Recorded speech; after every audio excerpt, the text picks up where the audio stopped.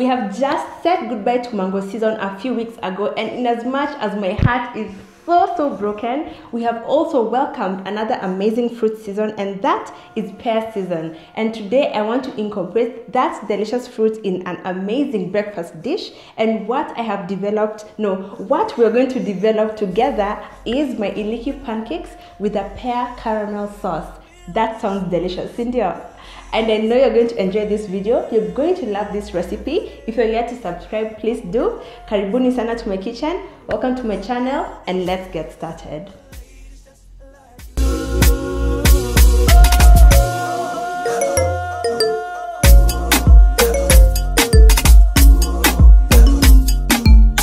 So the ingredients for my iliki pancakes are already laid out and now we're going to go into my pear caramel sauce which I had already made just a few minutes before starting filming. It's super easy to make and let me tell you it smells it smells fantastic. I'm going to show you how I made mine so buckle up fungua masikio vizuri zuri sana because you too are going to make this at home.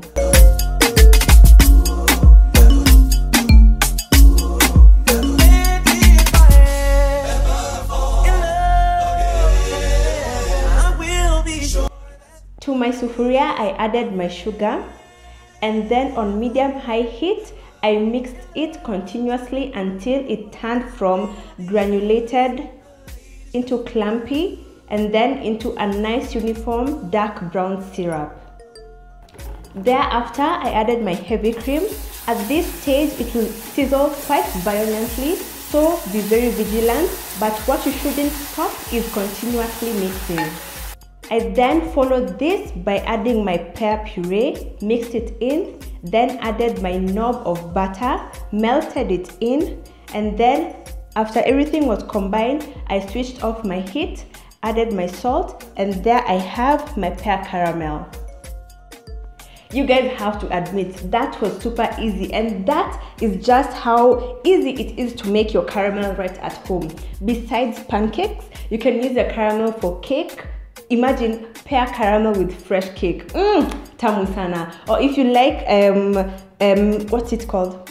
Caramel popcorn you can also add some. There's so much you can use your pear caramel for. You can also make some in advance. Just pop it in your fridge. Then when you need some just take it out of your fridge. Place it over a hot hot water bath so that it becomes nice and light once again and then proceed to use one thing I really have to emphasize is when the sugar is melting and when all the ingredients are combining in your sufuria, please, I'm begging you, do not taste do not lumber your mwiko do not dip your finger in because it gets very very very hot and you will get a very severe burn. Trust me i've done it and kweli nilichomeka. Do not taste the caramel mixture when it, it's still cooking. And if you're making it with children be very vigilant because they can very easily just dip their fingers and get burnt pia wewe ukikuwa mkubwa because sometimes kimbelembele iko kama mimi one day.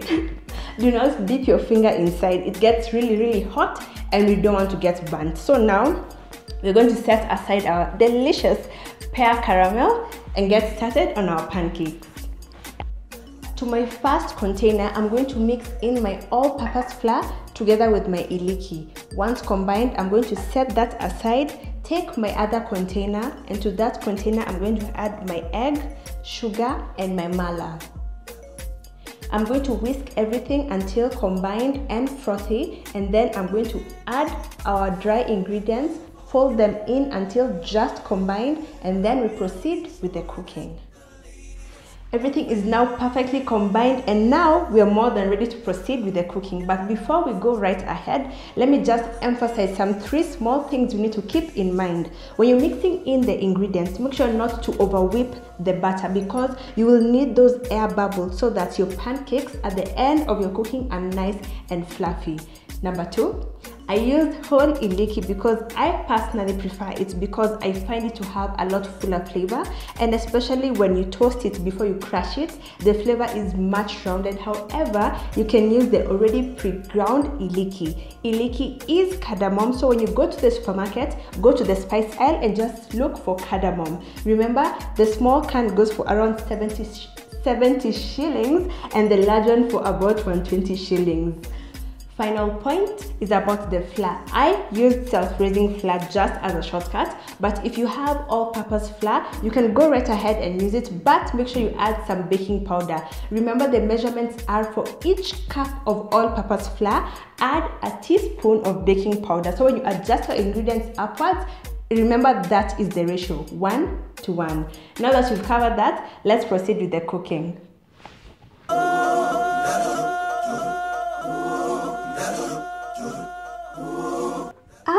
My kitchen smells amazing and that aroma is attributed to the iliki I'm using for my pancakes.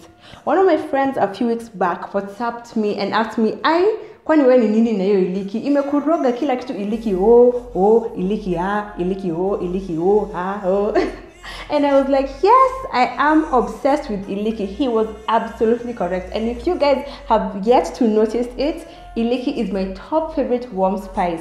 Comment down below which of the warm spices we have here in Kenya, which one is your favorite, which are your top three. My top three in order are Iliki, cardamom, and then nutmeg, and then clove and cinnamon. It's a tie.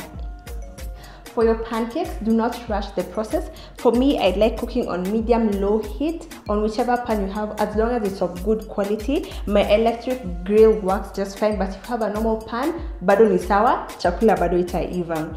When you look at your pancakes and the top surface starts getting a bit bubbly, know you're about to flip it. If the surface is not as bubbly, give it a few minutes, like one minute or a few seconds, and then you'll be ready to flip.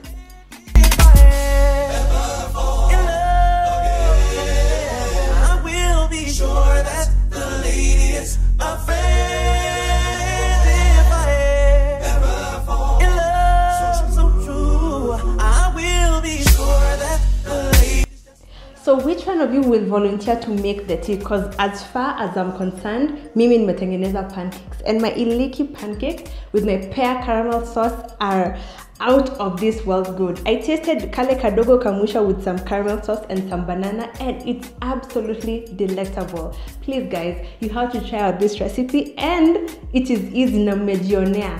Kama kawaida, don't forget the exact recipe quantities are on my blog, link on my description box. Try this out, enjoy it with your families, share the recipe in all your WhatsApp groups, and kama kawaida, snap a pic and send it to me in any DM on any social media platform. For me, it's now time to go have my breakfast. I hope you loved this video, and I know you're going to love this recipe just as much as I have enjoyed making it for you guys. Thank you for being part of K Nation, and I always appreciate having you guys here. Bye! Oh, oh, oh,